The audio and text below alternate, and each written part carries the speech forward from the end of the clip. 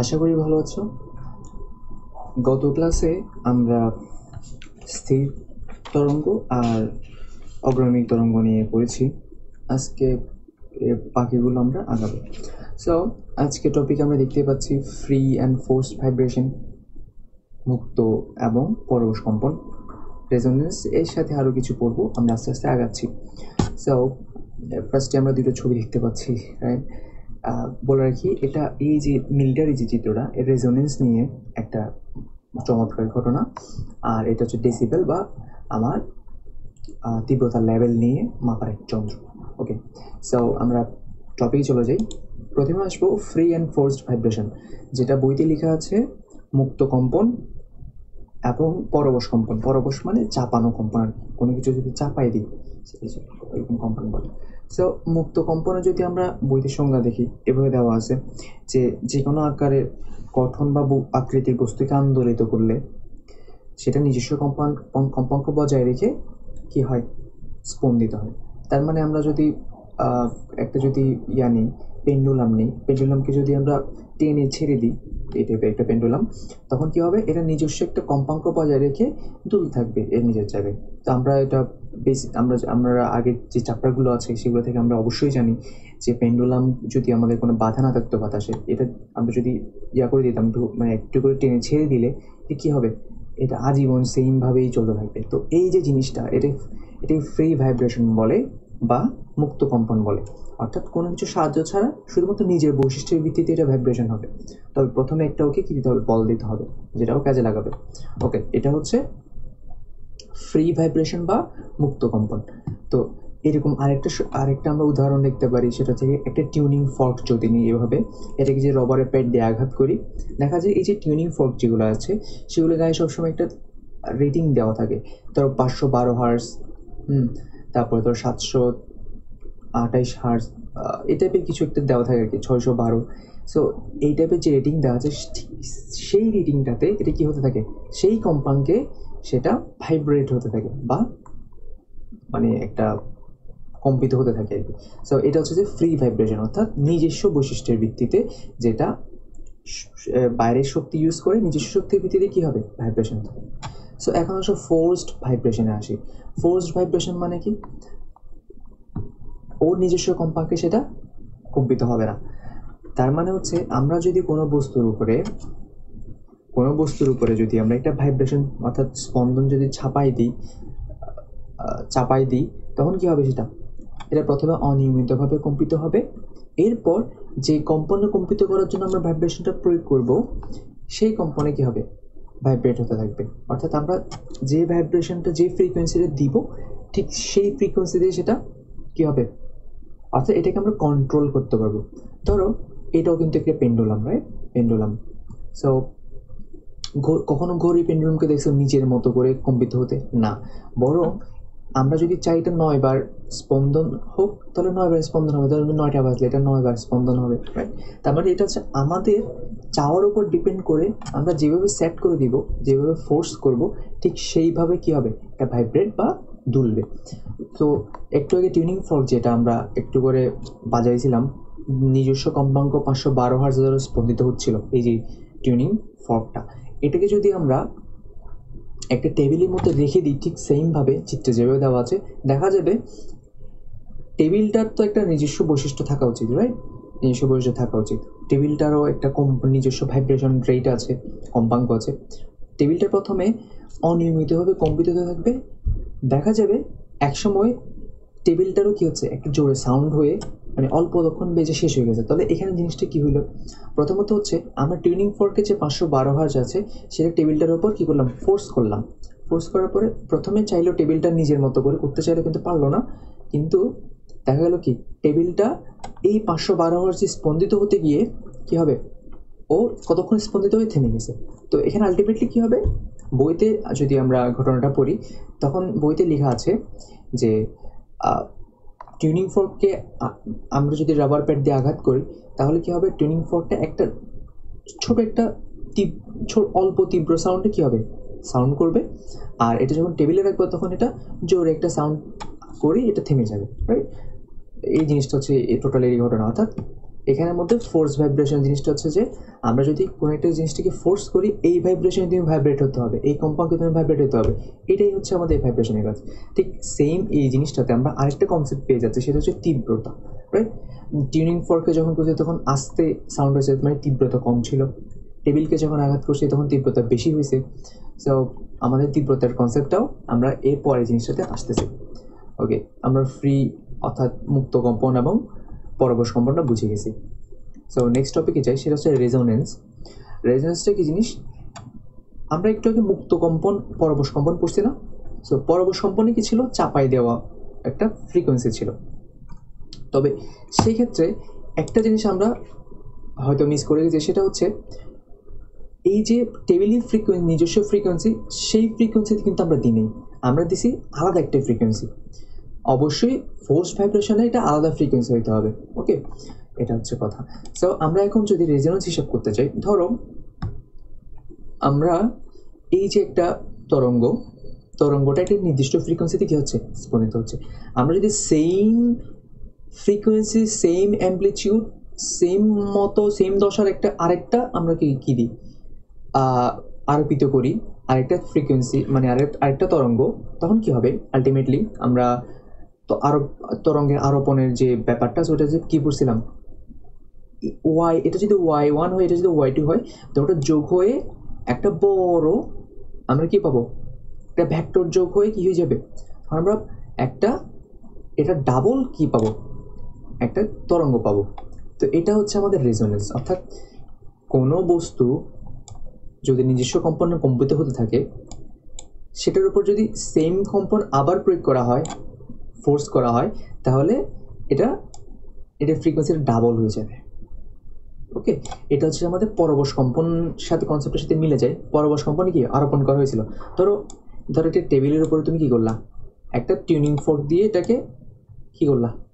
আঘাত করলাম মানে টিউনিং ফর্ক দিয়ে তুমি এটাকে রাখলে এখানের মধ্যে। টিউনিং ফর্কটা পাঁচশো বারো হার্জে কী হচ্ছে? কম্পিত হচ্ছে। তো সেমভাবে তো কতক্ষণ পরে দেখা যাবে টেবিলটার যে ফ্রিকোয়েন্সিটা সেটা পাঁচশো বারো হার্জ হয়ে গেছে। আরোপিত কম্পন থেকে আমরা এটা জানি।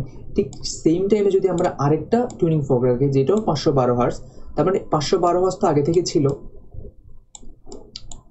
রাইট পাঁচশো বারো হার্জে কী হচ্ছে? টেবিলটার মধ্যে প্রয়োগ করছি ফোর্স করছি রাইট টেবিলটা পাঁচশো বারো হার্জে কম্পিত হচ্ছে। এখন সেম পাঁচশো বারো হার্জ যদি আবার রাখি সেম টাইমে তখন কি হবে? তখন এটা এক হাজার চব্বিশ হার্জে হয়ে যাবে। এক হাজার কত হবে? চব্বিশ হার্জে তখন এটা কম্পিত হবে, অর্থাৎ কম্পাঙ্কটা ডাবল হয়ে যাবে। এই জিনিসটা হচ্ছে রেজোনেন্স অর্থাৎ রেজোনেন্সের সংজ্ঞা থেকে আমরা কি জানি? কোনো বস্তু নিজস্ব কম্পাঙ্ক বা তার উপর আরোপিত পর্যবিত স্পন্দন কম্পাঙ্ক সমান হলে বস্তুটি সর্বোচ্চ বিস্তার সহকারে কম্পিত থাকে। সর্বোচ্চ বিস্তার বুঝছি? ওকে এটা এই কম্পন কী বলে? অনুনাদ বা রেজোনেন্স বলে। ওকে এটা আমরা বুঝে গেছি। এটা অনেকক্ষণ ধরে হবে অবশ্যই। সো এরকম রেজোনেন্স বক্স আছে। অন্যান্য বক্স এগুলো আমরা বই থেকে পড়ে নিব।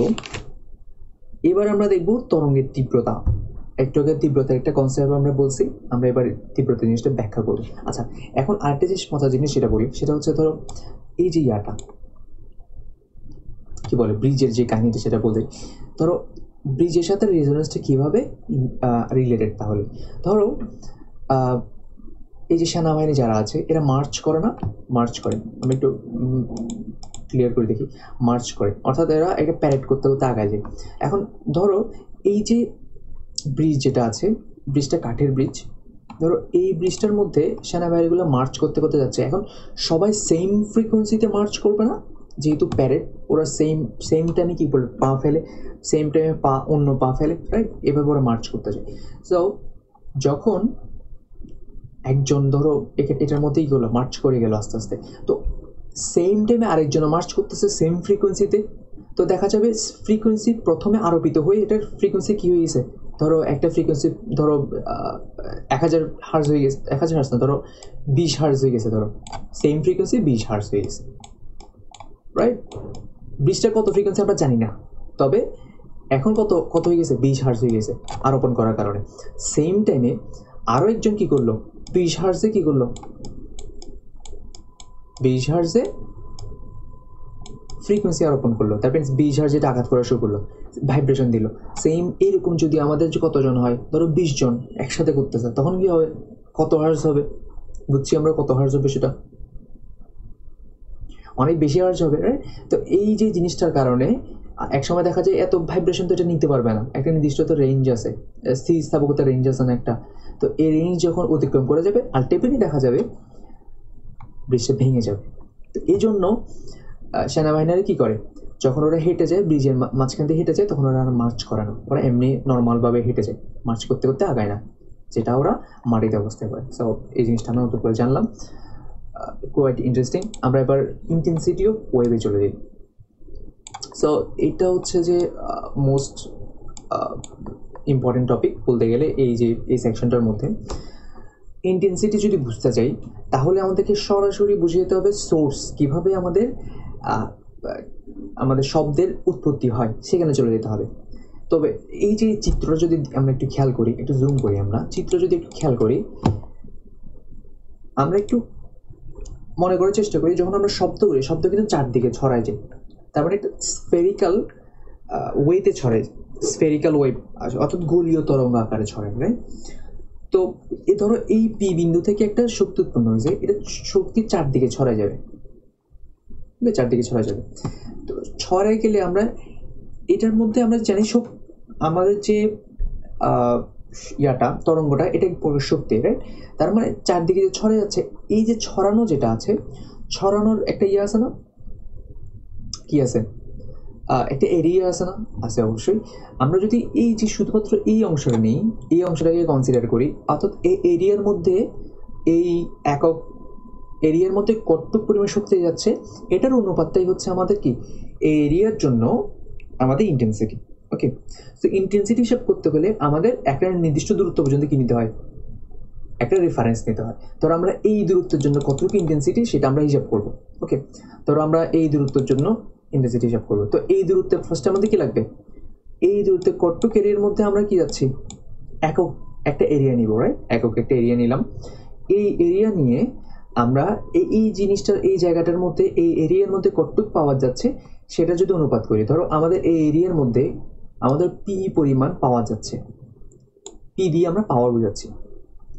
পি পরিমাণ পাওয়া যাচ্ছে, আর এরিয়াটা করতো ফোর পাই আর স্কোয়ার আমরা জানি এরকম গোলীয় এরিয়ার, আমাদের সূত্রটা হচ্ছে ফোর পাই আর স্কোয়ার হয় right four pi r square so এই যে আটটা, তাহলে কি আটটা হচ্ছে আমার এই যে জিনিসটা দূরত্ব, ব্যাসার্ধ আর কি, গোলীয় so four pi r square যদি হিসেব করি পৃষ্ঠতলে ব্যাসার্ধ পাবো সরি পৃষ্ঠতল ক্ষেত্রফল পাবো, তাহলে P by four pi r square হিসেব করলে কত পাবো?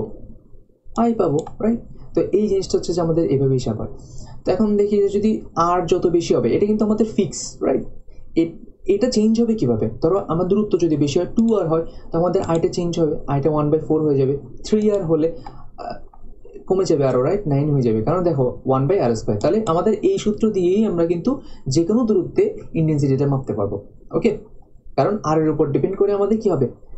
আমাদের এরিয়াটা বড় হবে। এরিয়া যত বড় হবে, শক্তি তো আমাদের বাড়বে না। কিন্তু এরিয়া বড় হলে আমাদের এরিয়ার মধ্যে শক্তির হারটা তো কমে যাবে। তো সেই জন্য আমাদের ইন্টেন্সিটিটাও কমে যাবে। তো সেজন্য দেখবে যে যত দূরে একটা সোর্স থেকে শব্দ যত দূরে হয়, তত আমাদের জিনিসটা হালকা শোনা যায়। যেমন ধরো ক্লাসের প্রথম দিকে আমরা যদি বসি তাহলে যেরকম শব্দ শুনব ক্লাসের শেষের দিকে বসলে আমাদের কি হবে? শব্দটা কম শুনতে পাবো। কারণ কি? কারণ হচ্ছে আমাদের এরিয়া বাই আমাদের যে পাওয়ারের যে রেশিওটা সেটা আমাদের কমে যাচ্ছে। ওকে তো এটা হচ্ছে বাস্তব উদাহরণ থেকে আমরা বুঝতে পারি। তবে ইন্টেন্সিটি যদি বুঝে যায়, এটা হচ্ছে ইন্টেন্সিটি সূত্র। তার মানে এটাকে আমরা সিম্পলভাবে যদি করি সিম্পলভাবে করতে গেলে এইভাবে করতে পারি। পি বাই পি বাই কি? পি বাই এ রাইট তার মানে P by A is equal to I I দিয়ে ইন্টেন্সিটি বুঝে হ্যাঁ তাহলে এটা হচ্ছে আমাদের মেন সূত্র। এখন আয়ের আরও একটা সূত্র আছে। এই সূত্রটা আমরা একটু দেখি। অর্থাৎ আয়ের সাথে কী কী রাশি রিলেটেড সেটা আমরা এই সূত্র থেকে পেতে পারি। আয়ের আর একটা সূত্র হচ্ছে এই যে এটা। কোনটা?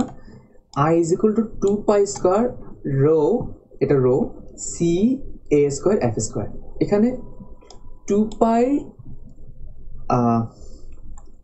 two pi square rho যেটা আছে, এই যে জিনিসটা আছে, সেটা কোথেকে আসছে? সেটা আমাদের এরিয়া থেকে আসছে। আচ্ছা না রোডটা আসছে আমার এম থেকে আসছে। এর অ্যাকচুয়ালি আমাদের গতিশক্তির যে সূত্র আছে, সেখান থেকে আমরা আনতে পারছি। তো এখানের মধ্যে এটা ছিল ওমেগার একটা ব্যাপার আছে। তো আমরা বইতে যদি রাশিমালাটা দেখি, গাণিতিক রাশিমালা, সেটা থেকে বুঝতে পারব। তবে আমাদের এত কিছু লাগবে না জাস্ট গাণিতিক রাশিমালাটা বুঝলে হবে, আর আমরা এই সূত্রটা যদি ফোকাস করি, অর্থাৎ গাণিতিক রাশিমালা থেকে আমরা এটা যদি প্রতিপাদন করতে পারি দেন এটাই তো আসবে রাইট তো এটার মধ্যে কি কি রিলেটেড আছে আমরা দেখি। আমরা যদি এইটা সূত্রটা মনে রাখতে পারি যে কোনো অঙ্ক করতে পারব। এই সূত্রটা মনে রাখতে পারি যে কোনো কোশ্চেনের আনসার দিতে পারব। এই কোশ্চেন থেকে কখনো কি আসবে না? ম্যাথ আসবে না। তবে এই জিনিসটা আমাদের মনে রাখতে হবে। খেয়াল করি। এখানের মধ্যে কি দেওয়া আছে? ইন্টেন্সিটিটা কিসের সমানুপাতিক? কিসের সমানুপাতিক? রো এর সমানুপাতিক। তারপর কিসের সমানুপাতিক? তরঙ্গের বেগের সমানুপাতিক। এটা সিডি কি বোঝাচ্ছে?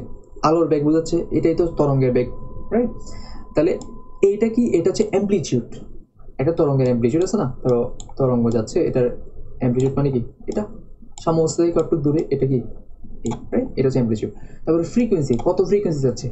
এটার স্কোয়ার এবং অ্যাম্প্লিচিউডের স্কোয়ার সো আমাদের এই যে দুইটা টপিক যেটা আছে এ স্কোয়ার এবং এফ স্কোয়ার এই দুইটা মনে রাখতে হবে। সো খেয়াল করি, তাহলে তরঙ্গ কিসের কিসের উপর ডিপেন্ড করবে, সেটা আমরা সরাসরি এই সূত্র থেকে বুঝতে পারব এবং এই সূত্র থেকে বুঝতে পারব। তো এই সূত্র থেকে যেটা বুঝতেছি পি তো ফিক্সড রাইট ফোর পাইও আমাদের কি? কনস্ট্যান্ট তাহলে আই কিসের উপর ডিপেন্ড করবে? মোস্টলি আর এর উপর ডিপেন্ড করবে। তার মানে কি? আরটা কি? আরটা হচ্ছে ডিস্টেন্স অর্থাৎ কতটুকু ডিস্টেন্স আমরা মাপতেছি? সেটা ডিস্টেন্স অর্থাৎ সোর্স থেকে যে লিসেনার তার দূরত্ব কিছু আর, এটার উপর ডিপেন্ডেন্ট তারপর এখানে কি দেখতে পাই, আমাদের মাধ্যমের ঘনত্বের উপর ডিপেন্ডেন্ট রো মানে তো ডেন্সিটি রাইট ডেন্সিটির ঘনত্বের উপর ডিপেন্ডেন্ট তারপরে বেগের উপর ডিপেন্ডেন্ট অ্যাম্প্লিচিউডের উপর ডিপেন্ডেন্স এবং আমাদের ফ্রিকোয়েন্সির উপর ডিপেন্ড ওকে সো আমরা দেখব যে কিসের কিসের উপর তরঙ্গের তীব্রতা ডিপেন্ডেন্ট এর আগে আমরা একটু সংজ্ঞাটা একটু বুঝিনি। সংজ্ঞাটা হচ্ছে যে আমরা অ্যাকচুয়ালি দেখি, যদি এই চিত্রটা দেখি, চিত্র দেখে আমরা সংজ্ঞাটা একটু বুঝে নিতে পারব। খেয়াল করি, তীব্রতা হচ্ছে, তীব্রতা, তরঙ্গের তীব্রতা হচ্ছে তিন তীব্রতা আই হচ্ছে তরঙ্গ সঞ্চালনের পথে। এই তরঙ্গ সঞ্চালনের পথ না এটার সাথে লম্বভাবে একটা এরিয়া নিলাম। তরঙ্গ সঞ্চালনের পথে লম্বভাবে অবস্থিত লম্বভাবে অবস্থিত একক ক্ষেত্রফলের মধ্যে, এটা একক ক্ষেত্রফল যদি হয়, একক ক্ষেত্রফলের মধ্যে প্রতি সেকেন্ডে প্রতি সেকেন্ডে প্রবাহিত শক্তি। তার মানে পাওয়ার প্রতি সেকেন্ডে প্রবাহিত শক্তিকে আমরা পাওয়ার বলি রাইট তাহলে একক ক্ষেত্র ক্ষেত্রফলের মধ্যে কতটুকু পাওয়ার যাবে? হুম, সেটাই হচ্ছে আমাদের কি? ইন্টেন্সিটি বা তীব্রতা। আর শব্দের তীব্রতা কি তাহলে? শব্দ সঞ্চালনের পথে, এটা যদি শব্দের সোর্স হয়, শব্দের সঞ্চালনের পথে লম্বভাবে একটা যদি এরিয়া নিই, একক ক্ষেত্রফল নিই, এর মধ্যে প্রতি সেকেন্ডে প্রবাহিত শক্তির পরিমাণটা হচ্ছে কি আমাদের কি? ইন্টেন্সিটি কিসের ইন্টেন্সিটি শব্দের তীব্রতা। ওকে সো আমরা এবার দেখব শব্দের তীব্রতা কিসের কিসের উপর ডিপেন্ড করে। ওকে সো শব্দের তীব্রতা প্রথমে যে জিনিসের উপর নির্ভর করে সেটা হচ্ছে অ্যাম্প্লিচিউড অফ সোর্স অর্থাৎ আমাদের যে শব্দটা উৎপন্ন হচ্ছে, সেটার অ্যাম্প্লিচিউড কতটুকু? ধরো অ্যাম্প্লিচিউড হচ্ছে কম। ধরো অ্যাম্প্লিচিউড হচ্ছে কম, তখন আমাদের শব্দ তীব্রতা কম হবে, আর অ্যাম্প্লিচিউড বেশি হলে শব্দ তীব্রতা বেশি হবে রাইট তাহলে অ্যাম্প্লিচিউডের উপর কীভাবে ডিপেন্ডেন্ট সমানুপাতিক এ স্কোয়ার তার মানে বইতে দেখব একটা ক্যাপিটাল এ দিয়ে দেওয়া আছে ক্যাপিটাল এ এই ক্যাপিটাল এ মানে হচ্ছে যে অ্যাম্প্লিচিউড এটা এরিয়া না ওকে আমরা ছোট এ দিয়ে বুঝব জিনিসটাকে, তাইলে আরও বেশি ক্লিয়ার হবে জিনিসটা। সো শব্দ তীব্রতা ডিপেন্ড করে কিসের উপরে? অ্যাম্প্লিচিউডের স্কোয়ারের উপরে। তার মানে আমরা যদি শব্দ তীব্রতা দ্বিগুণ সরি আমরা যদি শব্দ অ্যাম্প্লিচিউড দ্বিগুণ বাড়াই, এটা কত হয়ে যাবে? চার গুণ হয়ে যাবে। অ্যাম্প্লিচিউড যদি ছয় গুণ বাড়াই, তাহলে কত গুণ হয়ে যাবে? ছত্রিশ গুণ হয়ে যাবে রাইট কখনো কখনো দেখছ আমরা আমরা যে বিয়ে বাড়িতে বা কনসার্টে আমরা যে ধরো সাউন্ড বক্স ইউজ করে সাউন্ড বক্স কেন দুইটা লাগায়? বা সাউন্ড বক্স কেন চারটা লাগায়? এরকম লাগায় না? তো সেক্ষেত্রে কি হয়? আমরা একটু আগে রেজোনেন্সের মধ্যে কি পড়ছি? রেজোনেন্সে পড়ছি যে সেম ফ্রিকোয়েন্সির সেম অ্যাম্প্লিটিউডের যদি আমরা তরঙ্গ ইউজ করি, তখন আমাদের তরঙ্গতে কী হয়ে যাবে? তরঙ্গটা ডাবল হয়ে যাবে রাইট তো এটা same frequency same amplitude same দশা সেমটা কি হচ্ছে? অ্যাম্প্লিটিউড ডাবল হয়ে যাবে। তো সেম ফ্রিকোয়েন্সি সেম অ্যাম্প্লিটিউডের যদি আমরা কি করি, দুইটা স্পিকার ইউজ করি, তাহলে রেজোনেন্স এটা রেজোনেন্ট হবে। রাইট রেজোনেন্স যদি হয়ে যায়, তখন অ্যাম্পলিচিউডটা কী হয়ে যাবে? অ্যাম্পলিচিউড দ্বিগুণ হয়ে যাবে। অ্যাম্পলিচিউড যদি দ্বিগুণ হয়, তাহলে অ্যাম্পলিচিউড দ্বিগুণ হলে আমাদের ইন্টেন্সিটি কতটুকু বাড়বে? চার গুণ বাড়বে। আর এরকম যদি চারটা ইউজ করি, চারটে স্পিকার ইউজ করি, তখন কী হবে? ষোলো গুণ হয়ে যাবে রাইট তো এইভাবে জিনিসটা হচ্ছে পারে তাহলে অ্যাম্পলিচিউড যদি আমরা দ্বিগুণ বাড়াই দিতে পারি ইন্টেন্সিটি চার গুণ বেড়ে যাবে। স্কোয়ার যেহেতু, এটা বুঝছি। অ্যাম্পলিচিউডটা খুবই ইম্পর্টেন্ট এখান থেকে কোশ্চেন আসে। সো এবার আসব এরিয়া অফ সোর্স সো এটা হচ্ছে একটা কম্পারেটিভলি একটা অন্যরকম একটা জিনিস। উৎসের আকার। তো এখন উৎসের আকার মানে হচ্ছে যে পিটা তো উৎস যদি ছোট হয়, তাহলে আমাদের পাওয়ারও কম হবে। আবার উৎসের আকার যদি বড় হয় পাওয়ারও বেশি হবে। তো উৎসটা যদি বড় হয়, তাহলে পাওয়ার বেশি হবে না? হ্যাঁ ধরো ছোটো মাইক থেকে কম আওয়াজ বের হবে, বড় মাইক থেকে বেশি আওয়াজ বের হবে। এটা তো স্বাভাবিক। তো সোর্সটা যত বড় হবে, আমাদের পাওয়ারটা তত বেশি হবে। তো পাওয়ারটা বেশি হলে কি হবে? দেখো পি টু পরে না? পাওয়ার বেশি হলে ইন্টেন্সিটি বাড়বে। ওকে এটা বুঝে গেছি। এবার আসো উৎস থেকে শ্রোতা দূরত্ব। তো পি থেকে আমরা যদি, আমরা এখানে একটা জিনিস দেখছি রাইট এখানে আর যত বেশি, তত কি? আমাদের ইন্টেন্সিটি কমছে। রাইট যেহেতু ওয়ান বাই আর স্কোয়ার তো এটা দিয়ে বুঝিয়ে শেষ। এটা তার কিছু নেই।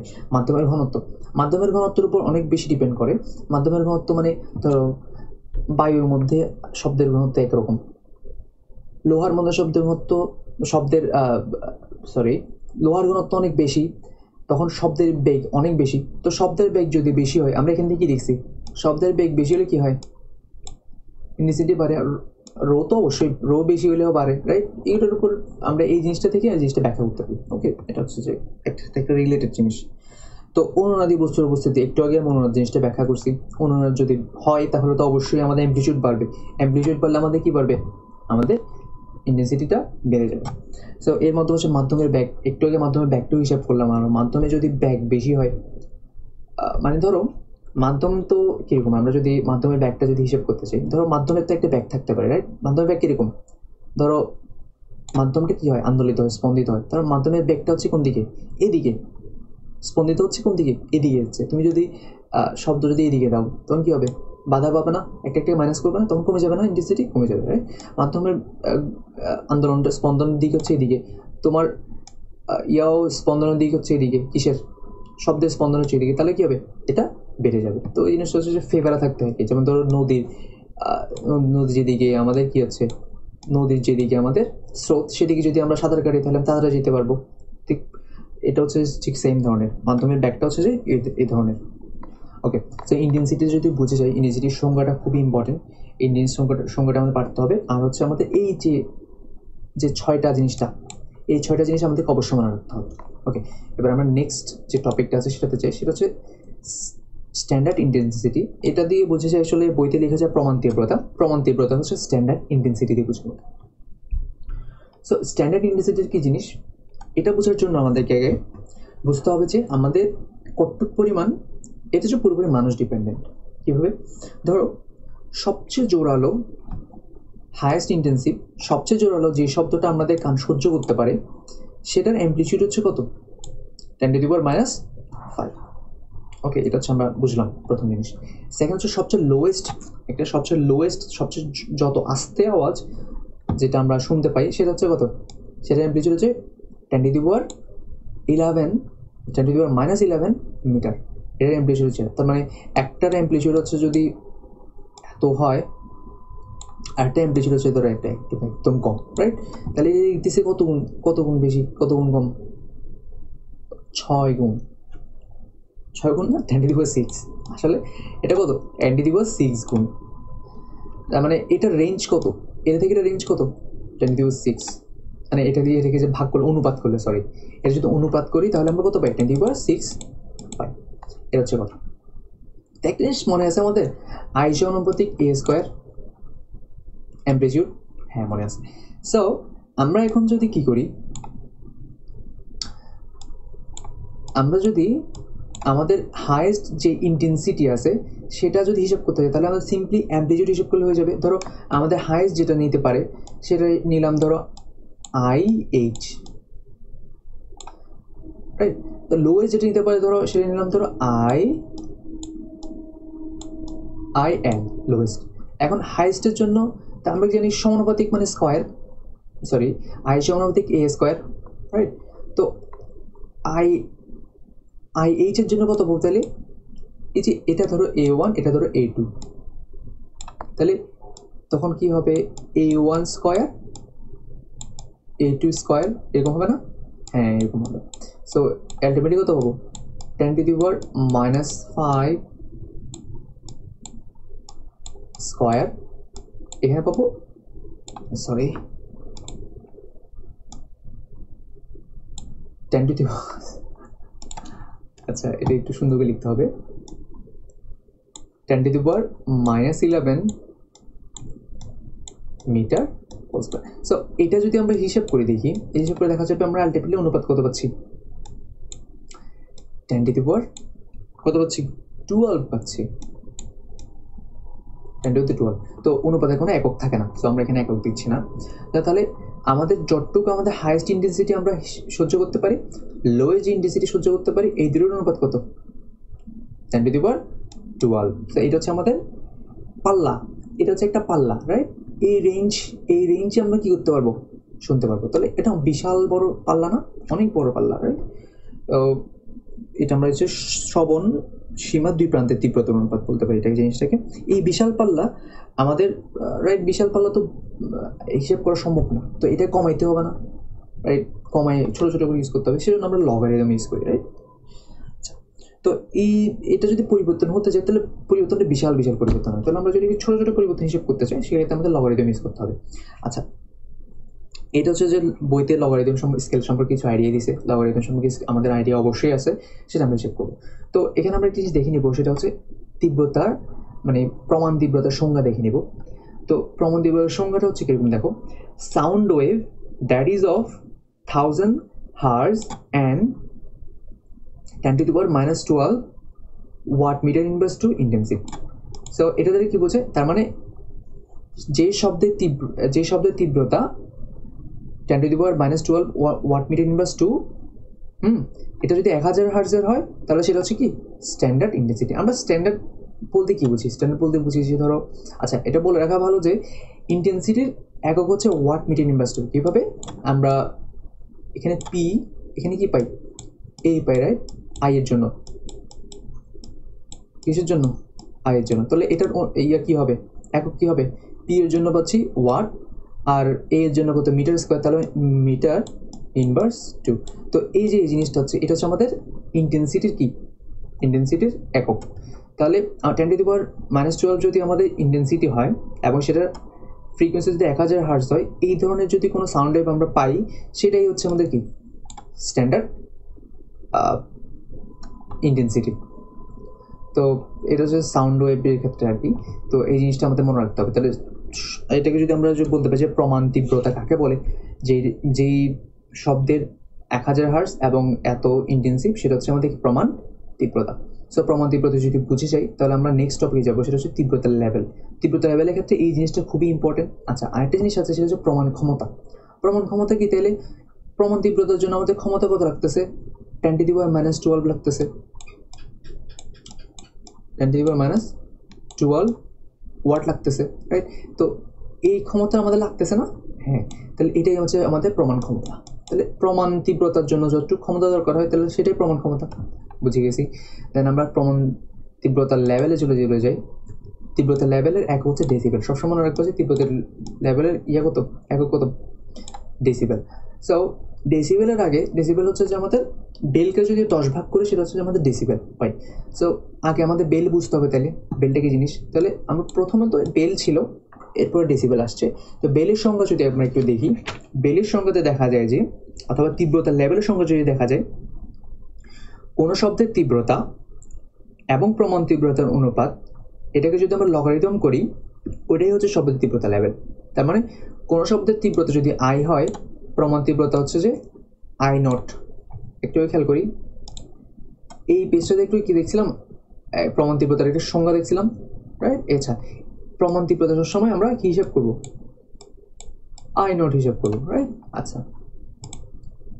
তার মানে দেখতেছি আমরা, আমাদের যদি কোনো শব্দের তীব্রতা আই হয়, প্রমাণ তীব্রতা যদি আই নট হয়, এখন